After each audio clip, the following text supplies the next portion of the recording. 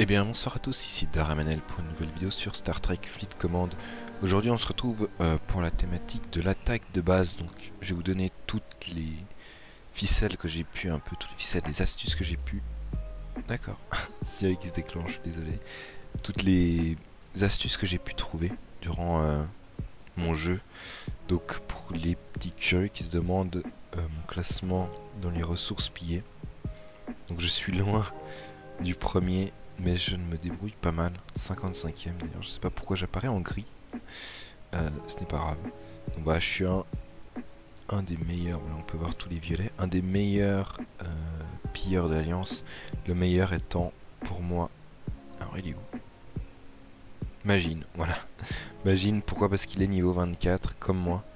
Et qu'il est... Euh, il est classé 20ème sur le serveur. Alors que moi je suis niveau 25 et je suis 55ème.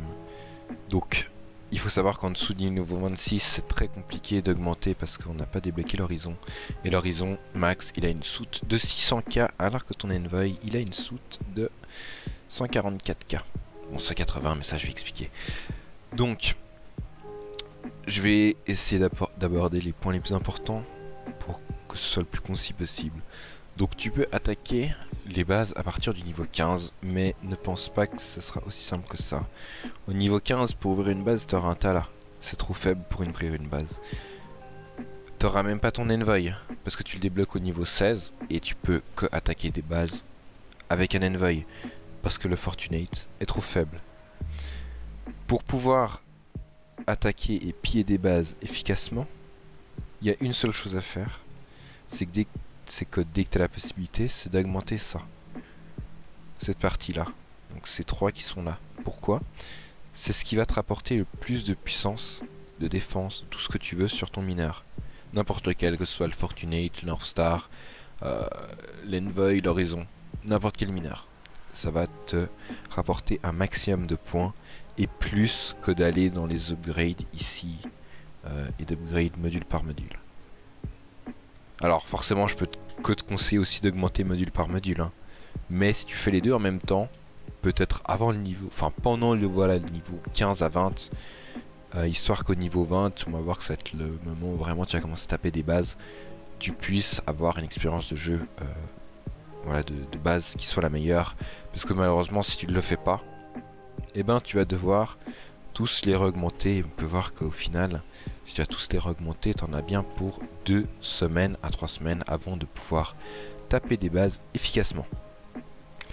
Quel vaisseau maintenant pour ouvrir des bases? Quel vaisseau? Comme je l'ai dit, avec ton Tala, tu ne pourras pas ouvrir une base. Le seul vaisseau bas niveau que je pourrais te conseiller pour ouvrir une base, ah, si c'est pas le Tala, c'est le Jellyfish. C'est le Jellyfish et un Jellyfish avec une certaine puissance, peut-être 40k. Et tu pourras pas taper n'importe quelle base. Tu pourras taper que des bases, à mon avis, niveau 15, très faible. Je ne pourrais pas te donner un ordre d'idée, je n'ai plus euh, de référence. Mais trouve des bases faibles, enfin niveau 15, sans vaisseau dedans. Tu regardes leur puissance. Tu notes un peu les puissances. Tu fais ça sur 10 bases niveau 15 sans vaisseau. Et tu regardes à peu près. Bah, je sais pas exactement euh, entre quoi et quoi ceci. Mais si c'est entre euh, typiquement 40 et 80k, tu te dis bon bah voilà, je fais la moyenne un peu, je peux taper des bases jusqu'à 60k un peu moins. Ça, c'est un peu la référence que je pourrais te donner. Peut-être juste regarder si je trouve pas une base... Euh, je sais qu'il y en a des bases 15 en plus ici. Alors attention, pas se faire avoir et pas cliquer sur une base 14 parce qu'il me semble que les bases 14, on peut pas encore construire les une base 16. Les plateformes de défense, donc, elles ont beaucoup moins de défense. Voilà, 89k, ça c'est avec le Tala qui est dedans, qui doit avoir à peu près... Ouais, je vais dire 20k. Donc, 80, 69k. Voilà, si tu tapes des bases peut-être déjà à 50k avec un, Jelly 30, 40k, c'est peut-être la seule option pour voir une base si t'es bas niveau. Autrement, forcément je peux te conseiller que le North Star, euh, que le North Star vraiment ne compte pas si tu es plus, plus, haut niveau, ne compte pas sur le Kiara, ne compte pas sur le Valclass, ne compte que sur le North Star. Tu pourras aussi compter sur le Kumari. Le Kumari, pourquoi? Parce qu'il tape très très fort. il tape très très fort. North Star, Kumari, Jelly si t'es bas niveau. Donc t'as ton niveau 15 avec ton Jelly, t'as ton niveau 18 avec ton North Star, t'as ton niveau 24 avec ton Kumari. Alors attention, entre 15 et 18 il y a 3 niveaux, entre 18 et 24 il y en a 6. Pourtant tu verras que le North Star peut très bien combler ces 6 niveaux. Très clairement. Il peut les combler. C'est ça qui est bien avec le North Star. Ensuite, il te faut un envoy et que tu mettes sur ton envoy l'officier stun, au moins sur un des deux. D'ailleurs, je ne peux que te conseiller de chercher les plans d'envoy dans des, voilà, des niveaux, c'est des hostiles 22 à 24 à peu près qu'il faut taper. À partir du 22, tu peux avoir des plans d'envoy. Et tu mets stun comme officier. Pourquoi stun? Parce que vous pouvez voir que cet envoy il a 180 000 de capacité. Et ça c'est grâce à la capacité de stun en tant qu'officier. Si on regarde ici, il augmente de 25% la cargaison de ton vaisseau. Peu importe le vaisseau. Donc ce qui fait que je peux augmenter typiquement ici je suis à 144 000. Ici je suis à 180 000. Je peux augmenter de 36 000 euh, mes capacités. Donc forcément, ça paraît peu, mais à la longue, ça aide beaucoup. Surtout que plus tu as un vaisseau qui a une grande soute, plus euh, ce, bonus est grand, bien sûr. Ensuite, tu as deux types de bases. Les petites bases, donc qui sont probablement en dessous de ton niveau. Si tu es niveau 20, tu peux taper jusqu'à du 16, il me semble. Ou du 15 peut-être même encore, il me semble que c'est du 16. Euh, donc tu as toutes les bases 16, 17. Ça, c'est des petites bases. Et t'as les grosses bases qui sont les bases 22. Et euh, au-dessus, c'est compliqué avec euh, en étant niveau 20. Donc, ce que je, ce que je peux te conseiller, c'est de. T'as deux types de d'attaque. Donc, si, es si tu décides d'ouvrir un niveau élevé, donc, alors, disons que je vais essayer de trouver un haut niveau ici. On bien en avoir un au moins, sans shield peut-être. D'ailleurs on peut voir que c'est totalement buggé hein, les... Voilà la dernière mise à jour ça a tout bugué. Donc ce qu'on va faire c'est que je vais prendre mon Realta et je vais aller là. Donc pourquoi j'envoie le Realta Si je regarde ici, niveau 22, il a un Envoy et un Vaclass.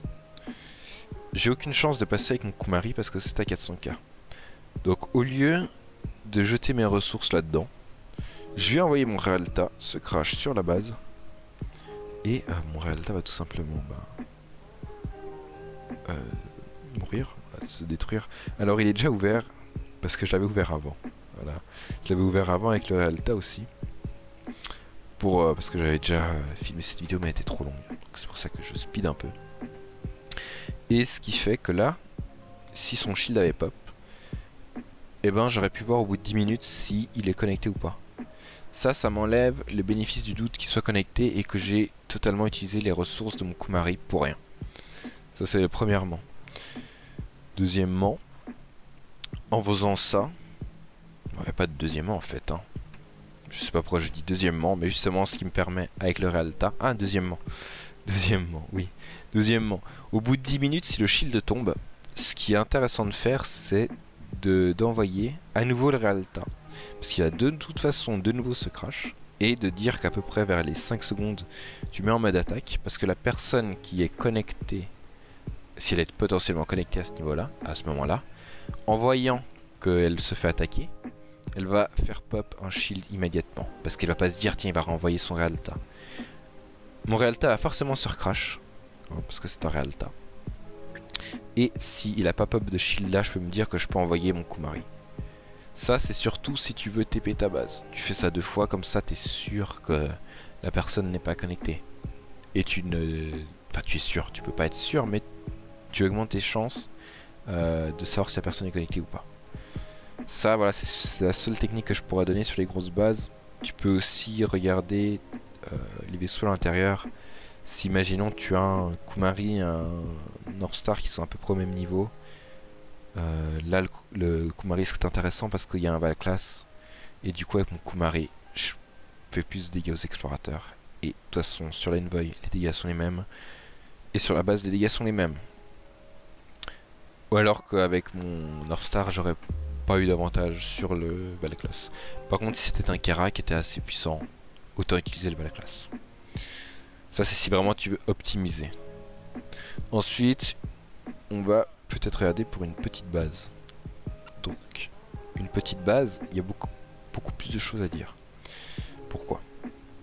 Bah, Je vais vous montrer tout ça. Une petite base, je vais directement attaquer au Kumari parce que finalement, je sais que mon Kumari va directement passer, donc ça en vaut pas la peine de, de perdre du temps. Une base 18. Donc, on va à côté. On peut voir que là je suis sûr de passer parce que ma force de Kumari est plus élevée déjà que celle du, de la base, mais il y a un calcul que je peux dire qui marche à peu près, c'est que tu multiplies la puissance de ton vaisseau par 1,3 et ça donne à peu près la puissance de base que ton vaisseau peut passer sans qu'il y ait de vaisseau à l'intérieur. Typiquement, si je multiplie par 1,3 des 180K, ça me donne à peu près je vais faire ça directement, j'ai ma calculette à côté. Euh, ça me donne 234K, donc 234K, je peux monter à 240. Je me dis, ça passe de toute façon. Donc je peux envoyer directement le Kumari. Euh, parce que c'est pas une grosse perte euh, à ce niveau-là. J'aurais pu aussi envoyer le Realta pour être sûr que la personne n'est pas connectée. Typiquement, si une personne a beaucoup de ressources, ne pas envoyer le Kumari, même si elle est faible, parce que tu peux être quasiment sûr qu'elle est connectée. Tu peux quasiment être sûr qu'il est connecté. Ah, mince. Euh, je sais plus qui j'ai attaqué. C'est là que c'est intéressant. Et c'est là que je bégaye. Euh, voilà, y a... je l'ai pas fait. Mais c'est un truc intéressant, c'est que dès que tu attaques la base, tu pu à attaquer. Tu ouvres un coffre direct. Pourquoi?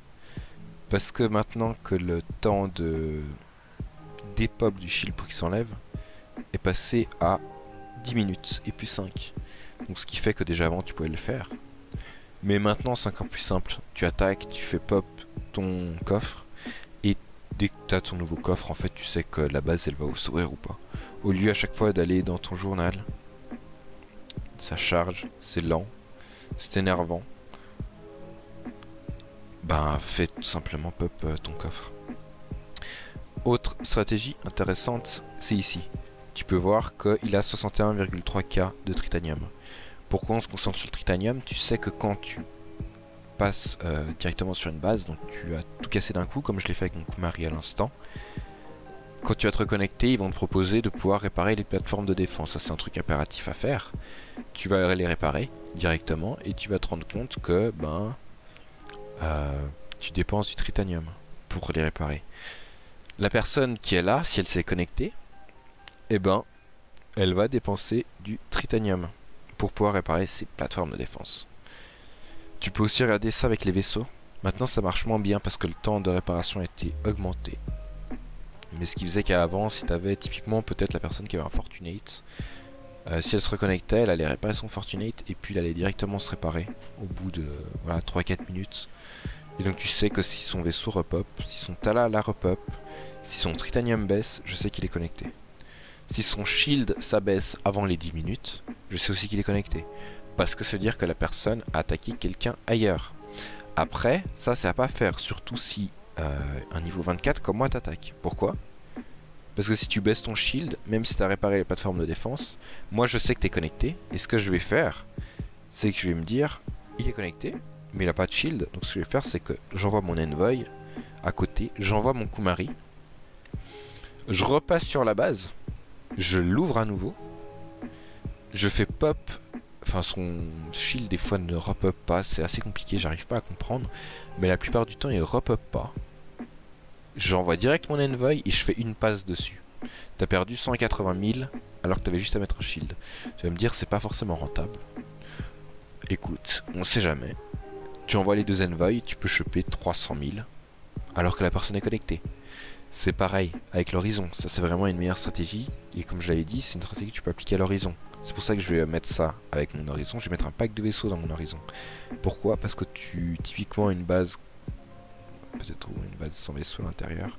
Si cette base n'a pas de vaisseau, je sais que je la passe avec un horizon qui a 150k. Et voilà, si je prends directement 600k d'une passe, alors que la personne est connectée, qu'elle soit connectée ou pas, ça change rien. Je les prends les 600k. Donc ça c'est une stratégie qui est intéressante. Et que tu peux faire sur n'importe quelle base. Ça c'est vraiment vraiment très très intéressant comme stratégie.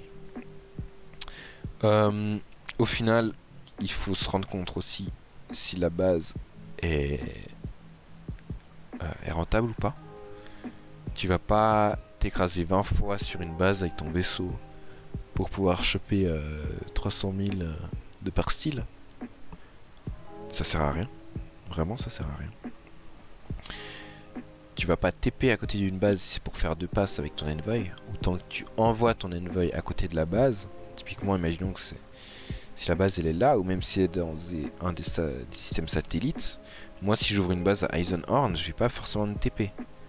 Vraiment pas. Surtout si c'est une base à 1 million, je préfère faire 4 allers-retours que dépenser en... Euh... C'est 1 minute 40, c'est vraiment pas long. L'aller-retour, ça prend presque 4 minutes. Euh, pour vider euh, une base avec 1,5 million de, de, de, par style, il te faut même pas un quart d'heure. Tu vas pas utiliser un jeton de relocalisation pour ça. Donc voilà, ne, ne pas. Autre point important, c'est si tu veux ouvrir une base qui est plus haute que toi. Euh, typiquement, imaginons que tu es niveau 20, tu ouvrir euh, le Sexa qui est là. Parce que tu vois 1,57 million de, de par style. C'est pas intéressant. Alors imaginons, parce qu'il y a plus que, plus que ça. Hein. Tu vas pas ouvrir une base tout seul s'il y a plus que ça. S'il y a que ça parce qu'elle est bien plus forte. Ce qui est intéressant, c'est de demander de l'aide à quelqu'un qui est plus haut niveau. Comme ça, vous divisez un peu les ressources par deux, et s'il s'avère qu'il était connecté, euh, il va directement pop un shield, parce que toi, tes petits vaisseaux, ça va être FR et Alta. Ça veut dire que tu vas pas lui faire peur, et qu'au final, il va peut-être un peu s'amuser avec toi. Il va te laisser scratch un peu sur toi. Tu vas dépenser, euh, sincèrement, tu peux aller à dépenser jusqu'à 200k de tritanium, et tu vas euh, rien choper, parce qu'il va shield. Alors demande à quelqu'un qui a un Kumari ou un gros North Star de te venir en aide. Comme ça tu perds beaucoup moins de ressources. Euh, et je crois que c'est à peu près tout. TP quand c'est vraiment nécessaire. Si tu as peut-être 2 millions de chaque TP, 1 million de chaque, tu peux TP. À partir de 2 millions de ressources volées, tu peux pour moi TP. Ça en vaut la peine. Achète tous les jours, dès que tu peux, un jeton de relocalisation dans l'alliance, dans le la boutique d'Alliance. Vraiment, ça en vaut la peine, ça vaut que 50 euh, crédits. Alors, c'est pour ça que c'est toujours intéressant d'avoir une bonne alliance. Comme on peut voir ici dans l'event qui est en cours, on est troisième. C'est-à-dire que pour chaque event, on arrive troisième ou deuxième, les tests sont toujours premiers. Euh, un moment on était deuxième. Après on va peut-être retrouver, on va peut-être retomber deuxième. Hein. On est vraiment à rien de, des, c'est des légères en étant deuxième, il gagne 1500. Les premiers gagnent 3000. Et nous, on gagne 1000. Donc autant vous dire que je peux acheter 20 jetons de relocalisation. Avec seulement un event. Donc c'est ça important. Trouve-toi aussi une bonne alliance. Tu pourras avoir des jetons de relocalisation. Tu pourras avoir des personnes qui trouveront des bases. C'est vraiment très important l'alliance. Vraiment, si t'es, pour moi, si t'es un des meilleurs de l'alliance, c'est que t'es pas dans la bonne alliance ou que t'es un des meilleurs du monde. Du serveur du moins. Change, à part si t'es le chef. Vraiment, ça c'est quelque chose que je peux te, donner comme, euh, comme conseil. Change d'alliance si tu sens que tu es trop fort. C'est ce que j'ai fait. Euh, au début du jeu, j'étais dans une alliance, je suis monté, je suis devenu premier. Et mon objectif c'était juste de rejoindre cette alliance qui était là parce que je voulais être dans une bonne alliance. Et ça, ça, voilà, ça aide beaucoup. Euh, je crois qu'on a un peu tout abordé. Voilà, regarde bien quel vaisseau utiliser en ton peut-être ton Kumari, ton North Star. Euh, mets bien l'officier. Ne dépense pas des jetons de relocalisation pour rien s'il n'y a pas assez de ressources. Achète quotidiennement tes jetons de relocalisation. Utilise des Realta. Une fois, deux fois, trois fois si t'es même pas sûr. Ça vaut rien. 100 hein. par style, vraiment ça vaut rien. Euh, mieux vaut ça que de perdre 50 000 de tritanium euh, avec ton Kumari ou 200 000 si vraiment euh, t'as pas de chance. Regarde si c'est rentable. Ça c'est vraiment très important. utilise la, mécanique du coffre. regarde s'il a réparé ses vaisseaux, regarde s'il a réparé son, euh, ses stations de défense, donc s'il a euh, dépensé du tritanium. C'est vraiment les stratégies que je pourrais te donner. Tu peux aussi, si t'es assez haut niveau, hop, ton horizon, passer en une fois dessus. Euh, et puis voilà. Augmente bien dans les recherches. ne rush pas en pensant que les bases ça va être à l'avenir. C'est l'avenir, c'est sûr, mais ne rush pas, voilà, ne va pas taper des bases directement en arrivant au niveau 15 apprends, regarde, fais euh, tout ce qui est bon. Donc voilà, c'est tout pour cette vidéo. N'hésitez pas à vous abonner, à commenter. Je répondrai aux questions si euh, il y en a, s'il y a quelque chose que je n'ai pas abordé. Hein. Et euh, voilà, c'était Daramenel sur Star Trek Fleet Command.